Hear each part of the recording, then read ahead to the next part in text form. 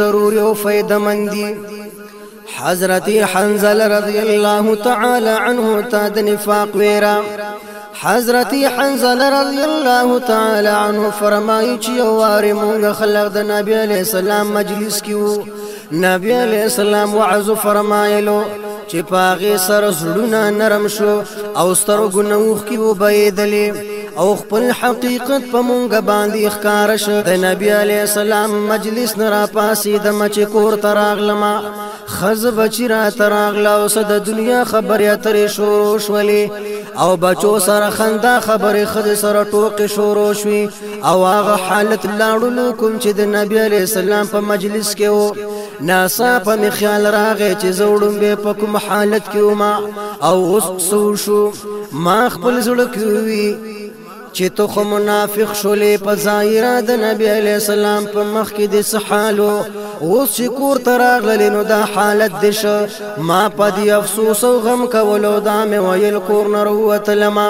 چې حنزله خو منافق شو مخامخ حضرت ابوبکر صدیق رضی الله تعالی عنه تشریف راوړو ما غت عرض کو چې حنزله خو منافق شو هغه چې دا وریدو یې فرمایل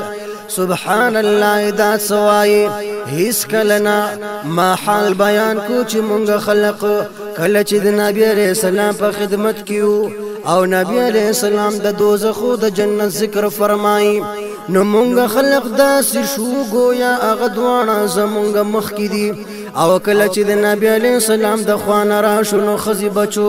او جیدات و غیره غمونو کې ونخلو هغه هر سیر کو حضرت ابوبکر صدیق فرمایل چې دا خبر خو ما تم پیخیږي دې د پاره دوانه د نبی علی السلام خدمت کې حاضر شول او حنزل رضی الله تعالی عنه عرض کو چې اې د الله رسول زخه منافق شما نبی علیہ السلام فرمایل سو خبر وشولا حنزل رضی الله تعالی عنه عرض کو چې کله مونږ خلق تاسو په خدمت کې حاضر شو او تاسو د جنت او دوزخ ذکر فرمایي نو مونږ داسې شو ګویا غز مونږ مخ کې دي خو چې کله تاسو مجلس نه لاړ شو او د خزي بچو د کور په غمونو کې لګیا شو نو هر سهیر شي نبی علیہ السلام ارشاد فرمایا چې په غزاد می دی قسم وی د چا په قبضه کې چې زما ساده کچرستا سو هر وخت د حال پاتې شي څنګه چې زما مخ کې وی نو فرشتو با تاسو سره په بسترو او لارو کې لاس ملاولو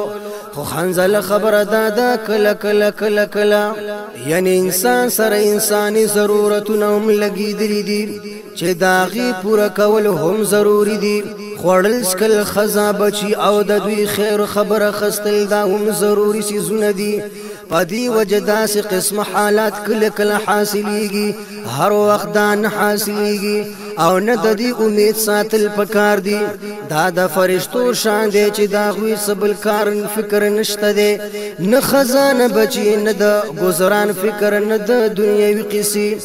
او انسان سره چون کې بشري ضرورت لګیدلې دي نو دی هر وخت په یو حالت نشي پاتې کېده